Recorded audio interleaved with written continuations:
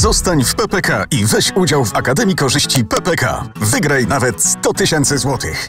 Dzień dobry Łukaszu, witam Państwa serdecznie. Mm, to może zanim linię frontu opiszmy wizytę prezydenta Ukrainy w Warszawie. Był fragment prezydenta Dudy, to może e, opisz najważniejsze fragmenty, co dla Ciebie było najbardziej istotne w wystąpieniu prezydenta Wołodomira Zełenskiego. Mm, no, dla mnie ważne było to, co powiedział akurat prezydent e, Polski, Andrzej Duda, który powiedział, że nas nie skłócą e, Rosjanie, którzy próbowali i próbują nadal to robić. Dla mnie też ważne było to, że podczas tej wizyty była e, rozmowa o naszej przeszłości, o tych ciężkich tematach historycznych i mam nadzieję, że mm, będą mm, podjęcie e, kroki do, do tego, żeby no, żeby um, żeby przejść do jakiegoś wspólnego, do, do, do czegoś wspólnego pod tym tematem, trudnym tematem oczywiście. Dla mnie ważne było, jeżeli mówić o przemówieniu prezydenta Zeleńskiego, ważne było to, co on e, e, powiedział o samolotach i o zachęceniu Polski do tego, żeby Polska stała się pierwszym krajem. Jak to było w przypadku przypadku z e, leopardami, z czołgami niemieckimi, pierwszym krajem, który e, poda przykład innym krajom w przekazaniu Ukrainie e, samolotów na przykład typu F-16, bo ta, teraz oni dla nas naprawdę są niezbędne, bo pomagają. Takie samoloty pomogliby nam na linii frontu nie dawać możliwości przeciwnikowi rzucać kierowane bomby z powietrza z takiej, z takiej odległości, do której my nie mamy zasięgu z tymi samolotami e, i z tymi rakietami, które posiadamy w tej chwili, teraz. E, a samoloty, nawet takie stare już samoloty typu, jak na przykład typu F-16, taką możliwość dają akurat. No, e, w, także w, przemówienie było bardzo, bardzo fajne i z obu stron. Także ja, e, dla mnie też bardzo ważne było to, że mm, było w, wspomniane o tym, o tej nowej umowie albo o traktacie nowym, który jest teraz w przygotowaniu między Polską a Ukrainą i e, niebawem e, będzie, jak rozumiem, podpisany. Także ja czekam na ten traktat, na tą umowę. Czekam, co, co tam będzie w tej umowie. Jak to będzie e, wyglądało. Nie wiem, jak to jest odczytywane, czy w ogóle jest odczytywane na Ukrainie kwestia eksportu zboża, która zajmuje, no, być może jest nawet tematem jeden ostatnich tygodni w polskiej e, polityce. Jak na to patrzę, strona ukraińska w ogóle to jest w Kijowie odnotowywane, że w Polsce jest taki problem?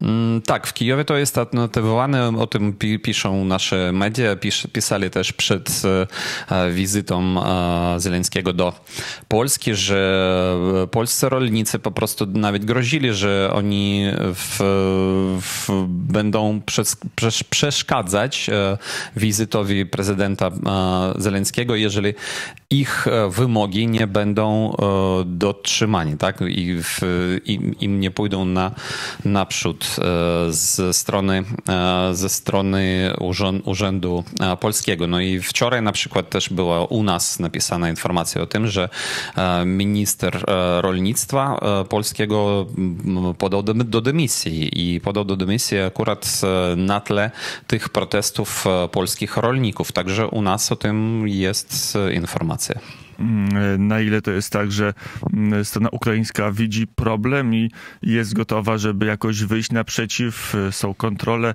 a na ile to budzi opór ze strony ukraińskiej, jak to jest politycznie?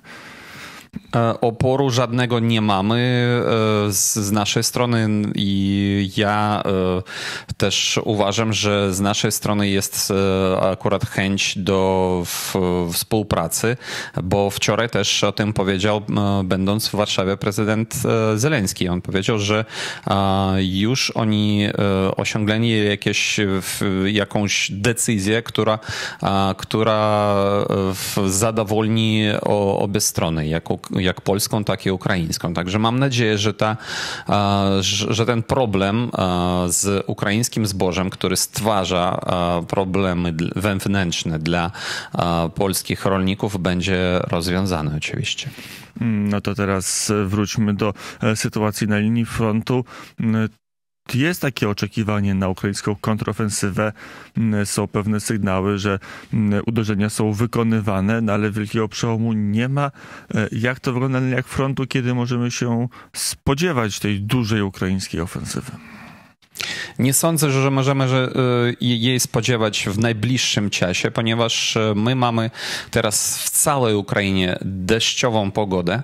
Deszcz y, pada bez końca i patrząc na prognozę jeszcze będzie padało przez cały ty, tygodniu następny.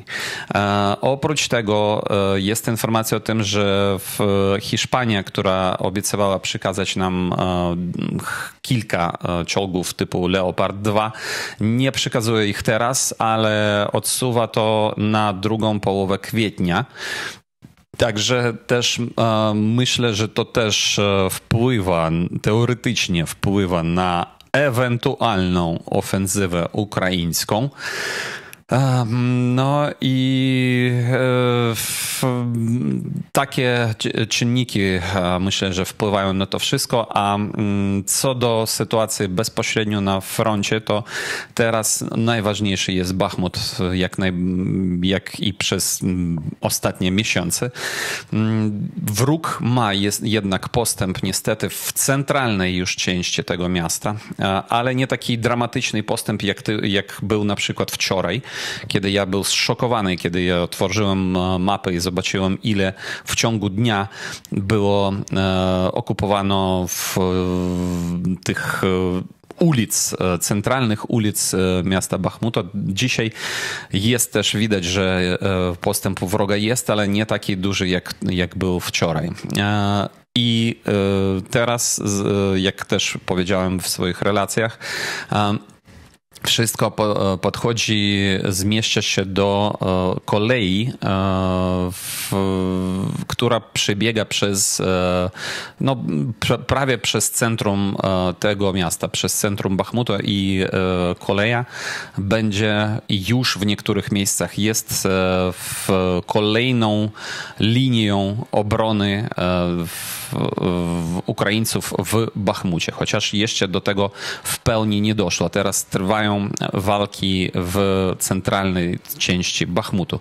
Wczoraj też e, prezydent Zelenski powiedział w Warszawie, że jeżeli będzie taka sytuacja, że będzie e, zagrożenie, e, poważne zagrożenie otoczenia, to będą, będą odpowiednie decyzje.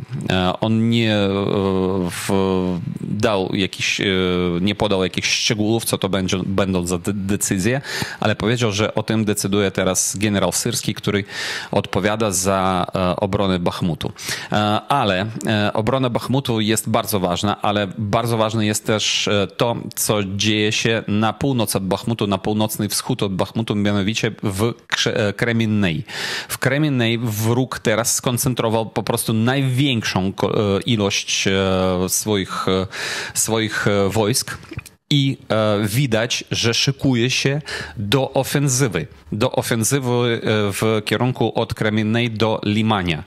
E, to jest na, e, w północnym brzegu e, rzeki Siwerski Doniec i jeżeli by e, wrogowie udało się tam w, zaatakować i mieć sukces w tym kierunku i dojść do Limania na przykład, to to byłoby zagrożenie dla Siwerska, który znajduje się na stricte na północ od Bachmutu I dla, już dla e, Słowiańska, dużego miasta, e, które znajduje się na e, północny zachód od Bachmutu, ale e, wróg nie idzie tam do, do przodu tylko e, dlatego, że ich po prostu e, nawet z tej, z tej ilością sprzętu i żołnierzy, które oni tam mają, ich nie stać na to bez te, tych dodatkowych sił, które teraz rzucone są na Bachmut.